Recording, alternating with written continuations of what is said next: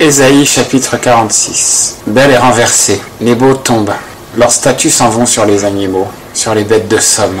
Les dieux que vous portiez, on les charge comme un fardeau sur la bête fatiguée. Ils sont renversés, ils tombent ensemble. Ils ne peuvent sauver le fardeau. Eux-mêmes, ils s'en vont en captivité. Écoutez-moi, maison de Jacob, vous tous, restes de la maison d'Israël, dont je me suis chargé dès le sein maternel, que j'ai porté dès votre naissance. Jusqu'à votre vieillesse, je serai le même et je vous soutiendrai jusqu'à la blanche vieillesse. Je l'ai fait, et je vous porterai encore. Je vous soutiendrai, et vous sauverai. À qui me comparerez-vous? Et qui ferez-vous mon égal? Avec qui me confronterez-vous pour nous trouver semblables Ils répandent l'or de leur bourse, et pèsent l'argent à la balance. Ils payent en orfèvre pour en faire un dieu. Ils l'adorent, et ils se prosternent devant lui.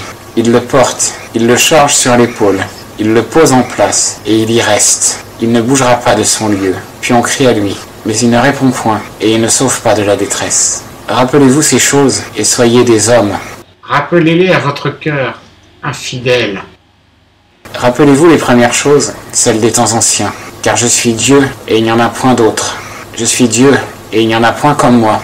J'annonce dès le commencement ce qui doit arriver, et longtemps d'avance ce qui n'est pas fait encore. J'ai dit, mon dessein tiendra, et j'exécuterai toute ma volonté. J'appelle du levant l'oiseau de proie, et d'une terre éloignée l'homme de mes desseins. Ce que j'ai dit, je le fais arriver. Ce que j'ai projeté, je l'exécute. Écoutez-moi, gens endurcis de cœur, qui vous éloignez de la justice. Je fais approcher ma justice. Elle n'est pas loin. Mon salut ne tardera pas. Je mettrai le salut en Sion, et en Israël ma gloire.